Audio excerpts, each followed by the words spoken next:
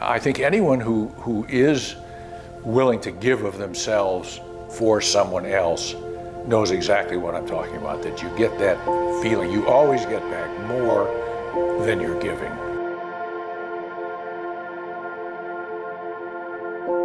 The Diebel Legacy Fund started uh, in honor of my son, Don Jr., who was an obstetrician gynecologist who worked with me in our practice. He unfortunately uh, was killed in an accident on the Florida Turnpike.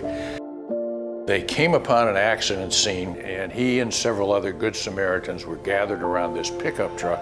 There was a semi-trailer and he was coming too fast. So he knew he couldn't stop on the highway and he came and he plowed into this scene.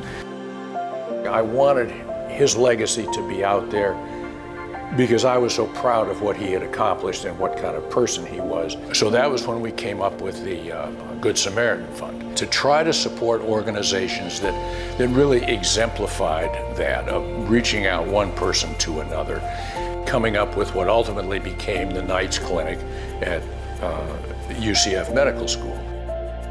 So our clinic is within Grace Medical Home. So we're just medical students, then we added PharmD students, and then we added social worker students, then counseling students. So with time, it kind of grew and grew a little bit. That's what's really neat about the Knights Clinic, is that it's a multi-specialty clinic for the low-income uninsured.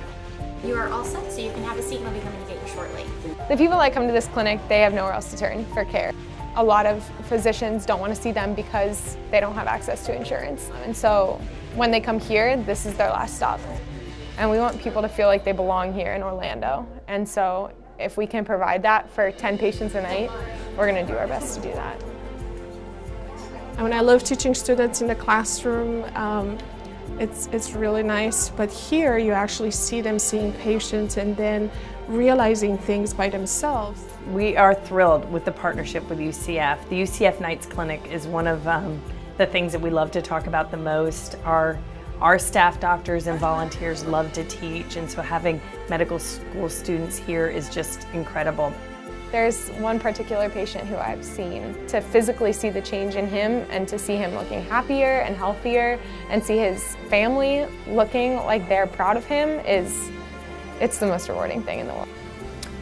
So, uh, I don't know if we knew how big it would be, but I think with the, with the clinic expanding and increasing its reach and its impact, yeah, I think that his legacy will continue on.